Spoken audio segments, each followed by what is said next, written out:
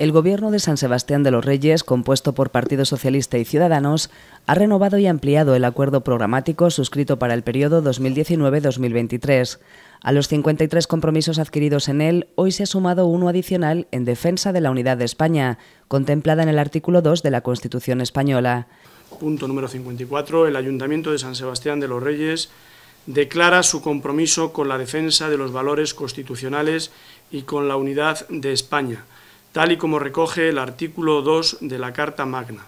Un nuevo punto con el que, según ha dicho el alcalde Narciso Romero, confían en introducir una cierta dosis de sosiego institucional. Mediante la reiteración de nuestro compromiso, del compromiso de los dos partidos que conformamos el equipo de gobierno, con el principio fundamental que guía, eh, basa y rige nuestra ley de leyes, la Constitución, que no es otro que el de la unidad española. Presentado el pasado 25 de junio, dicho acuerdo programático recoge 53 medidas consensuadas para gobernar en equipo durante el presente mandato en San Sebastián de los Reyes y optimizar así la marcha del municipio. Son tareas a realizar por todas las concejalías hasta el año 2023, acciones que en gran medida ya se están ejecutando.